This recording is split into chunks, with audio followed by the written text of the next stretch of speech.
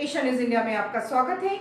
मैं प्रिया, आपके साथ। प्रधानमंत्री नरेंद्र मोदी आज सूरत के दौरे पर हैं। अपने पहले कार्यक्रम में उन्होंने सूरत के इंटरनेशनल एयरपोर्ट के नए टर्मिनल का लोकार्पण किया। इसके बाद सूरत में दुनिया के सबसे बड़े office space, Surat diamond bourse SDP का शुभारंभ करेंगे।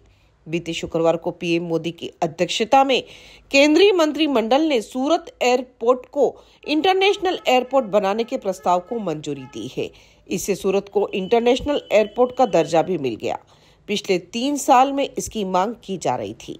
सूरत एयरपोर्ट को अंतर्राष्ट्रीय दर्जा दिलाने के लिए सोशल मीडिया प्लेटफॉर्म पर भी अभियान चलाया जा रहा था। एयर इंडिया एक्सप्रेस का विमान रविवार को सूरत से दुबई के लिए उड़ान भरेगा। फ़्लाइट सूरत से सुबह 11:40 पर उड़ेगी।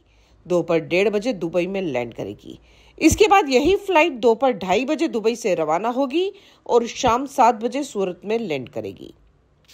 इसी के साथ बने रहिए एशिया न्यूज़ इंडिया के साथ। धन्यवाद।